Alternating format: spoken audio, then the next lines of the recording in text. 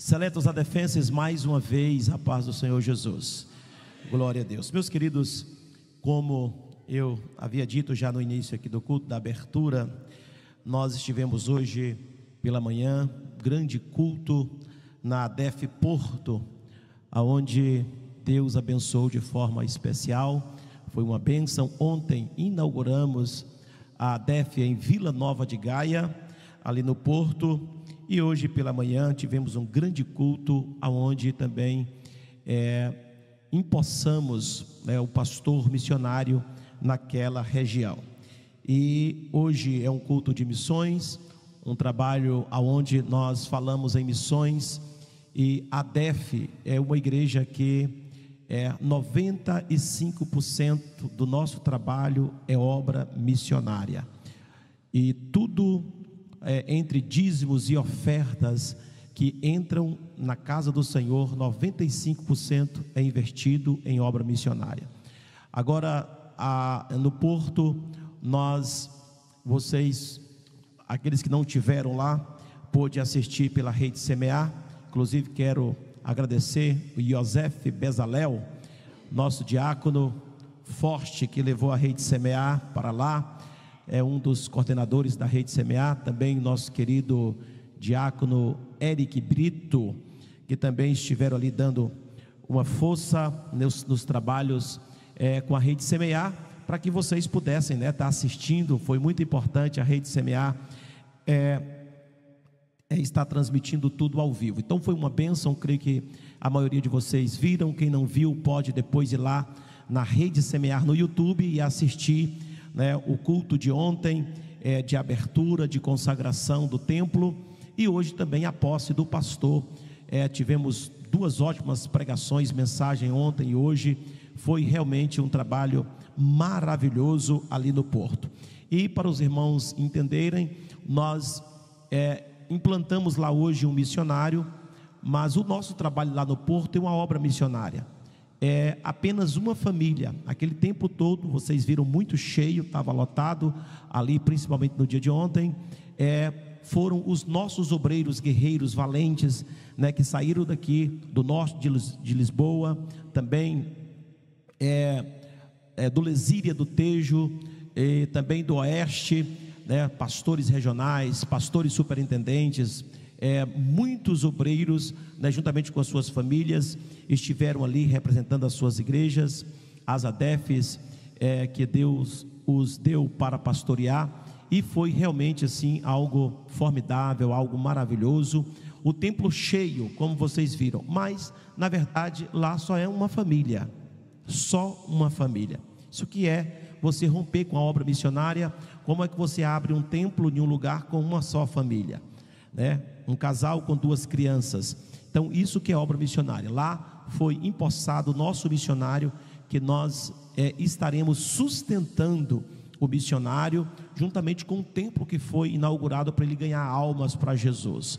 Amém, meus irmãos? Então, mais uma igreja inaugurada. Este mês foram duas igrejas inauguradas no dia 4, é, dia 4 e 5 também deste mês primeira semana deste mês, nós inauguramos a DEF em Messoncy, na, na Bélgica, aonde também foi algo muito maravilhoso. Então, duas igrejas, grandes templos foram inaugurados é, neste mês. É, todos dois templos, tanto lá em Gaia, é um templo grande, como vocês viram, para 200 pessoas. Um templo realmente bem confortável. Também lá em Messoncy, na França, também para 200 pessoas, também o templo que foi inaugurado lá. E assim a igreja a igreja a igreja segue caminhando, a obra missionária.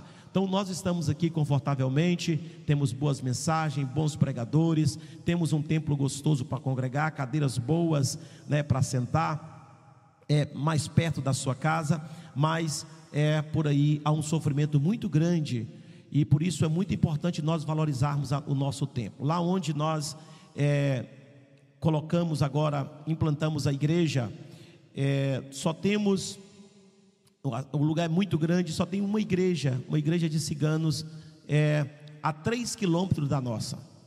Uma igreja de ciganos a 3 quilômetros da nossa. Ou seja, vocês é, podem observar a necessidade né, de um lugar tão grande é de implantar igrejas. Então, é um desafio muito grande para nós, é um desafio muito grande para você, você amar a obra missionária, é, fazer com gosto né, tudo que você faz na obra do Senhor, você também valorizar a casa que Deus deu para você congregar, porque Deus fez com que esta igreja chegasse aqui, esse templo fosse aberto há 10 anos atrás, para confortavelmente você congregar, você que está aqui por perto também, é, que não está aqui hoje no culto, vê a importância, a alegria de nós termos uma casa, né, para nós virmos adorar ao Senhor. Por isso nós somos gratos a Deus por este grande privilégio de nos dar esse lugar para congregar. E assim, aqui no Vale do Tejo, nós temos 11 igrejas que foram abertas aqui em volta desta desta igreja aqui. 11 igrejas,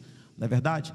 Então, se você for andar aqui para o lado carregado, você, nós temos a DEF encarregada, temos a, em Azambuja, temos é, em Cartacho, temos em Almerim, temos em Santarém. Só para cá, do, do, lado de cá do Tejo, nós temos cinco igrejas. Aí, se você for para o outro lado do Tejo, nós temos aqui logo acima Porto Alto, a DEF Porto Alto, depois temos a DEF é, Benavente, depois mais na frente temos a DEF Salvaterra. Glória a Deus. E se você for para cá, por lá de Lisboa, você vai encontrar logo a Alhandra, a Def Alhandra, depois a Def Alverca, depois a Def Catujal, glória a Deus, depois a Def Odivelas, e assim você vai com mais adefes por aí. Amém, meus irmãos? Então, é coisa para Deus, é coisa, é Deus é que está fazendo essas coisas. E é muito importante que a obra de Deus ela continue crescendo. E eu quero que vocês estejam ativados nisso tá bem? Sejam fiéis nos seus dízimos, sejam fiéis nas suas ofertas ao Senhor, para que a obra de Deus continue, continue avançando, né? E nós vemos o poder de Deus, é o que tem feito tantas coisas com pouco, né? Nós vemos que é, como tem conseguido fazer muito com pouco. É a misericórdia, a compaixão de Deus. Deus está fazendo a nós rompermos quando há fidelidade, Deus faz a obra de Deus, a obra dele romper. É com a nossa fé, de acordo com a nossa fé, a obra de Deus vai crescendo e vai avançando. Portanto, é muito importante a nossa fidelidade com Deus. Eu costumo dizer que nós não somos uma igreja que ficamos pedindo dinheiro é, ficamos clamando, pedindo dinheiro. Vamos abrir uma igreja e está difícil, e tem dificuldade. Vamos fazer isso e fazer campanha. Não, nós não somos a igreja. Nós confiamos em Deus e ensinamos os crentes a ser fiel nos seus dízimos e nas suas ofertas, assim como ensina a Bíblia Sagrada. Amém, meus irmãos? Então seja assim para com Deus, que Deus certamente abençoará muito a sua vida de forma toda especial. E algumas coisas, irmãos, escuta muito bem o que eu vou dizer agora. Algumas coisas travam na nossa vida por causa da infidelidade. Às vezes Deus abençoa a pessoa. Escuta, quantos estão me escutando? Diga amém. Quero que vocês olhem para cá. É muito difícil eu dizer isso que eu estou dizendo aqui agora. Muito, isso é, isso é realmente raro eu fazer isso. Então preste atenção é, eu estou vendo que tem pessoas que não estão olhando aqui para o púlpito. Eu quero que você olhe para cá, para você não perder. Tá bem? Porque o diabo, ele tira a visão, tira a audição, e pessoas ficam realmente no mundo da escuridão, dentro da igreja. E a pior coisa é a pessoa estar tá dentro da igreja e caminhando para ir para o inferno. Tem muita gente dentro da igreja e caminhando para ir para o inferno. O que, que adianta? Então, você, se você está na casa do Senhor, você tem que caminhar para os céus. Não pode vir para a casa de Deus perder tempo. Você tem que vir para a casa de Deus ganhar tempo. Aleluia. Isso é muito sério. Você ser compromissado com Deus. Ser compromissado com Deus, ser compromissado com a obra de Deus. Se você está aqui nesta noite não teve compromisso, ainda não tem compromisso nenhum, vem na igreja por vir, muda a sua vida. Você não pode continuar assim. Pastor, o senhor está me expulsando daqui? Não, eu estou te chamando para mais para dentro. Vem mais, né? É, se entrega mais, se coloque mais na posição de Deus, porque certamente Deus vai te abençoar. Então escute o que eu quero dizer para vocês: tem muitas pessoas em dificuldades, porque não entenderam ainda o, o mistério da fidelidade. Deus dá para ele e ele retém. Ele usa o dízimo para fazer caridade, para abençoar outras pessoas, achando que está abençoando, não está abençoando. Ele pega o que Deus deu para ele, em vez dele dar o dízimo, ser fiel no dízimo, ele não dá o dízimo como deve. Ele retém. Às vezes, para dizer, ele faz uma bondade. Ele dá a alguém, ele faz uma bondade para alguém. Ele não é fiel. O dízimo do Senhor é entregue na casa de Deus. Tudo que Deus colocar na sua mão, devolva o dízimo para o Senhor. Raramente eu digo isso aqui. Coloque na casa de Deus. Obra missionária. Não faça obra missionária particularmente. Não mande dinheiro para ninguém em particular. Se faz obra missionária, é com a igreja. Seja compromissado com a sua igreja. Nós temos obra missionária na África, temos obra missionária em toda a Europa. Estamos fazendo a obra missionária. Então seja compromissado com a sua igreja. Você que está me ouvindo pela internet, não fique mandando dinheiro para os outros. Ah, vou mandar dinheiro para missionário fulano, para missionário ciclano. Não, não faça isso. Seja compromissada com a igreja. Você não sabe para quem você está mandando dinheiro e você não sabe para quem é quem é essa pessoa que você está mandando dinheiro. Tem muita gente pedindo dinheiro aí por aí para a obra missionária e você acha que é missionário e não é. Então tenha muito cuidado com isso. Faça a obra missionária com responsabilidade. A sua igreja faz obra missionária? Contribui na obra missionária da sua igreja. E deixa que a, a, igreja com responsabilidade vai levar o missionário, fazer igual nós fomos ontem. Fomos lá, abrimos o templo, é, reformamos tudo, pintamos, organizamos, e colocamos cadeira, equipamento de som, colocamos tudo arrumadinho e colocamos o pastor lá. Isso é obra missionária. Glória a Deus. Hoje pela manhã tive uma reunião com o pastor e disse: Meu pastor, nós temos aqui 3 mil de despesas todos os meses, quase 3 mil euros de despesa todos os meses. Despesa com o senhor, despesa com, com aqui com o templo. Mas o senhor não vai se preocupar com nada disso. O senhor só vai se preocupar de ganhar almas. O dinheiro é pago tudo pela obra missionária. A única coisa que o senhor vai fazer preocupar é ir atrás das almas. Vai atrás das almas e enche a igreja de almas para Cristo porque a obra missionária nós temos a nossa equipe que faz o trabalho missionário. Então é daqui que a gente vai. Falando, não preocupe em pagar luz, água, é, aluguel com o seu salário. Não, vai chegar no nome de Jesus, porque o que manda ele faz acontecer, ele vai realmente fazer com que tudo chegue na sua mão. Eu disse lá hoje, fiz uma reunião com o pastor Santos Soares e o nosso missionário, e eu disse para ele: obra missionária com responsabilidade é assim, meus irmãos.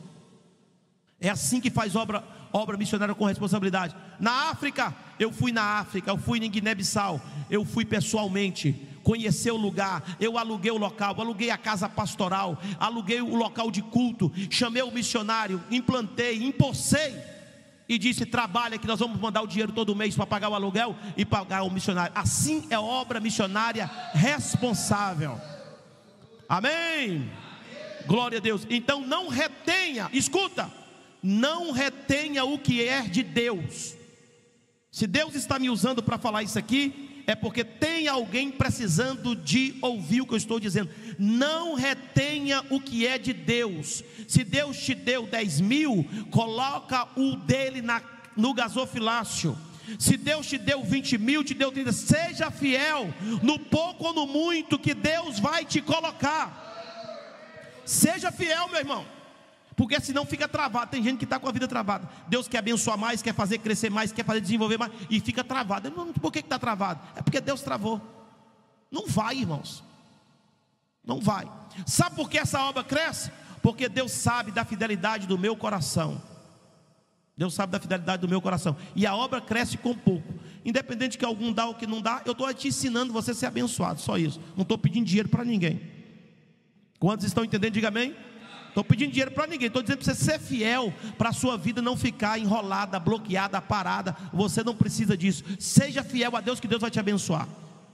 Você tem tempo de congregar, você vai vir congregar, Deus vai abrir porta. Você quer estar na casa de Deus, às vezes não consegue. Deus vai abrir porta, vai fazer coisas maravilhosas, porque Deus é fiel.